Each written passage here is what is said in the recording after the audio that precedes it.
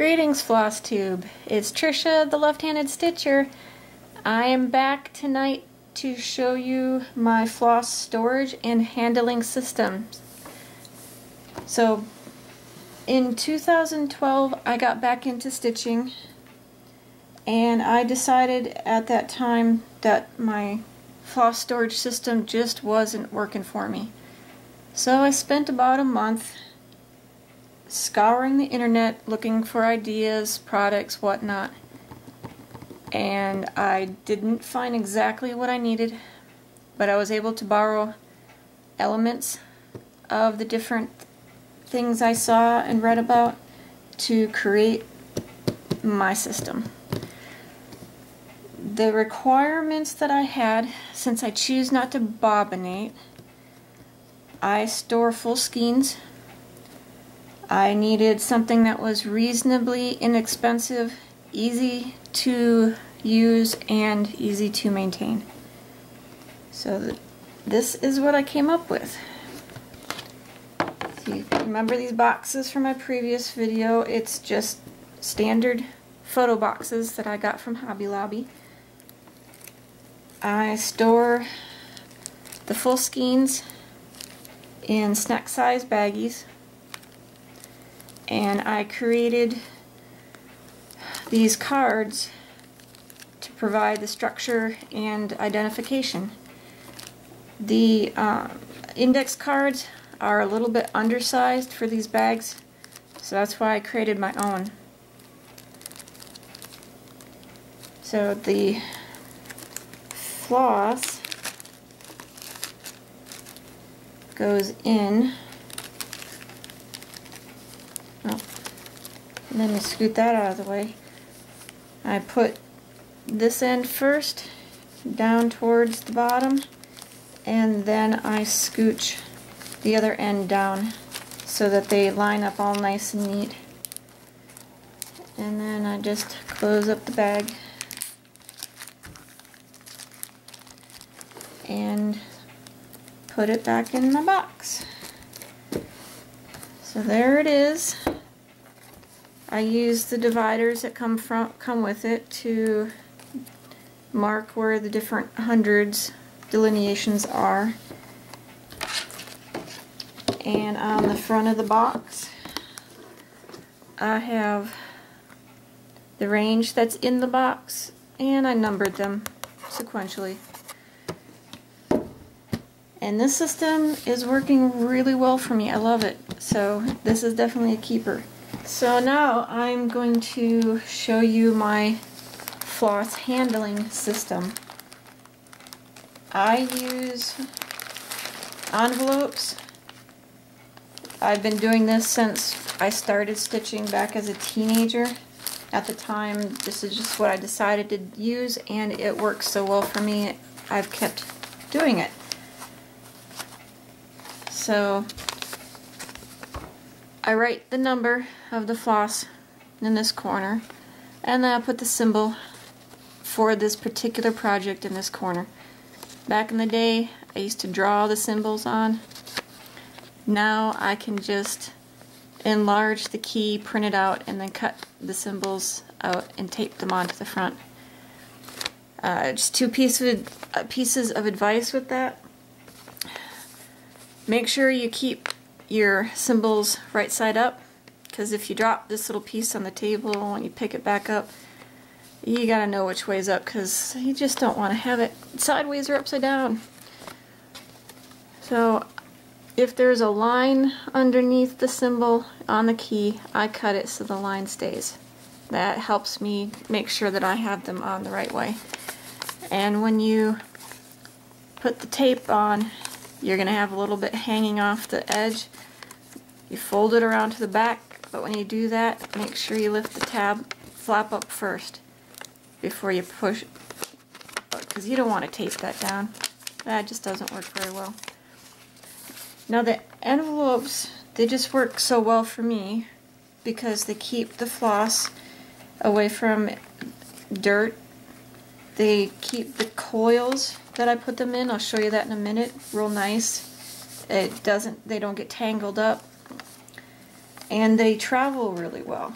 and they're they're so cheap. You can get like a hundred of them for a buck. So they go in, like I said, I use the quart size baggies. And then when I'm looking for a color, all I have to do is flip through until I find the symbol I need. So now I will show you how I put the floss into the, the envelopes. Um, if it's a kit, you know, you use the lengths that come in the kit. But if I'm using a full skein from my stash, this is how I do it. I like to use longer lengths. I know, I know, that's kind of one of those rules that people say you're supposed to use shorter lengths, but I tried it that way. It didn't really work with me. So I use longer lengths, and since I do the loop method, the length starts out even twice as long as it would, you know, before I started using loop. So this is the way I do it. I start with the skein with the little tail this way, you know, I am left-handed. And I grasp the other end loosely with the, my other hand. And I just pull it out slowly. And I know that the length I use is five and a half pulls. So there was one two three four, five, and a half. So I cut it out here. And then I just take it, I hold the tail with my thumb, and I wrap it around four fingers into a nice little coil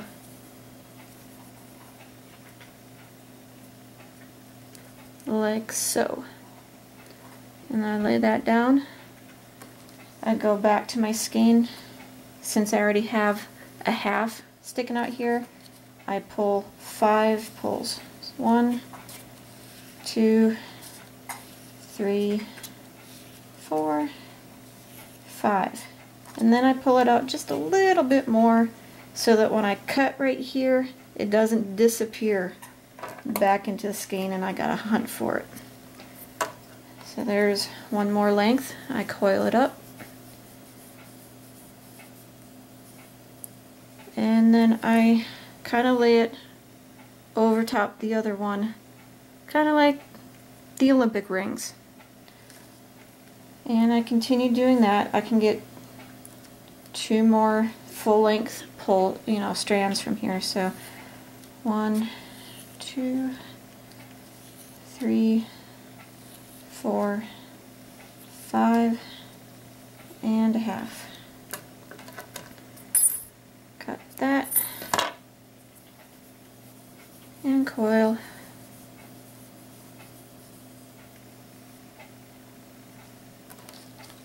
So then one, two, three, four, and five. Pull that back to expose where I need to cut it. Snip that and coil.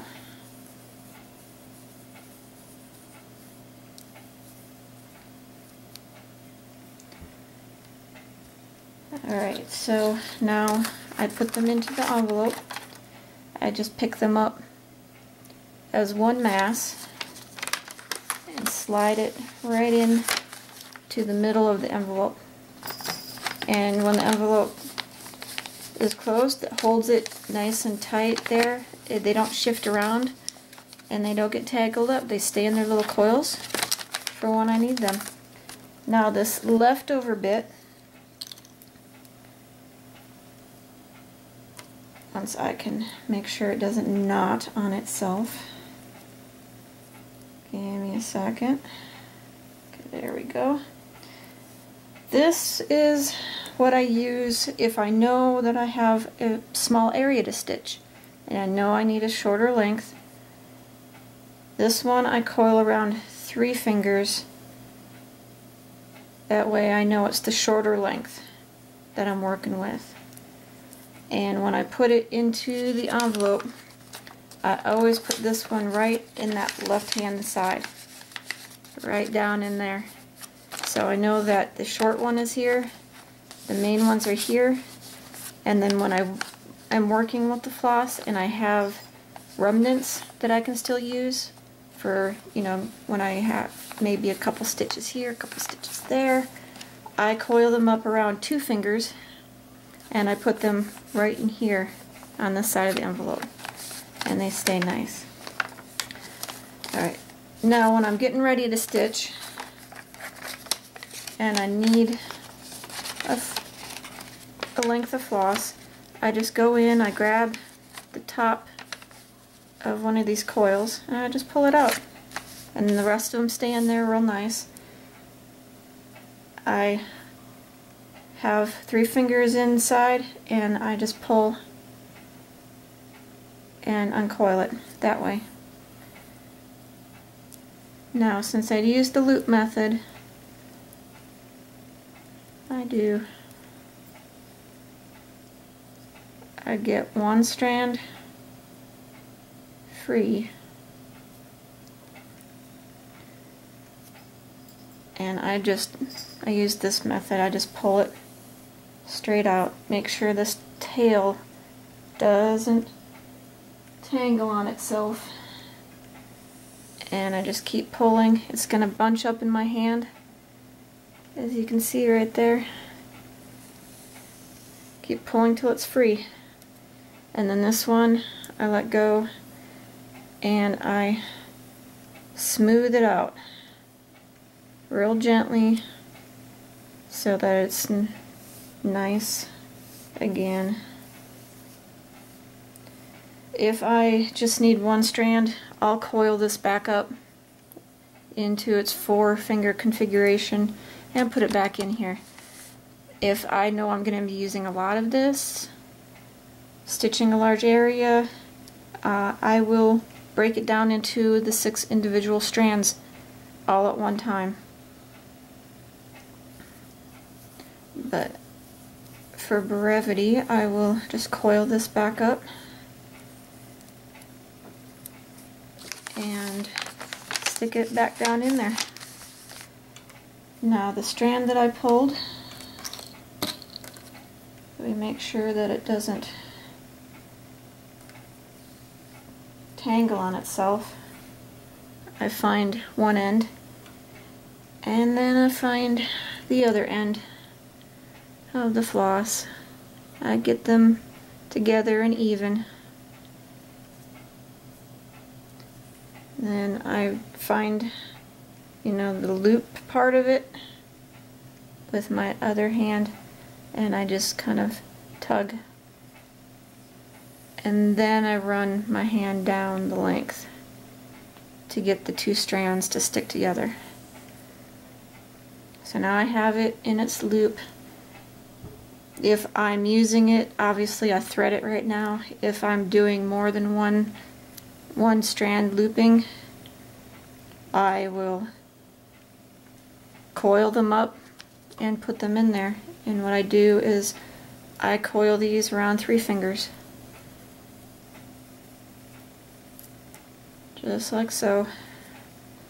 That helps me tell the difference between the main the main coils and the single strand coils. And I can also tell because it has the loop on it. And if I need to store one or more, I'll stack them, you know, across each other just like I've done before. And then they rest right inside, but up a little bit from it. And then it just goes right back into the, the bag and it's there when I need it.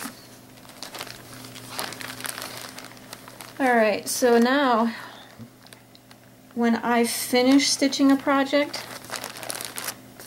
I take the envelopes, if it is just a pattern, it goes in the green box. If it was a kit, the, the baggie stays with the pattern of the kit because unless you can be sure that it's DMC floss, I don't want to mix. Right now, the envelopes live in the green box. When I outgrow the green box, I will transition to using the photo boxes. So right now, this box, I created a divider just out of a Sprite box. Tape little tabs on so that there's the little wings that fit exactly the width of this box. And then I decided that left just a little bit too much wiggle room. So I took took the lid of a shoebox. You can see it's just cut down. It was it was just the right length, I believe. Nope, nope, it wasn't. It was a little bit too long. So what I did is I measured, I cut it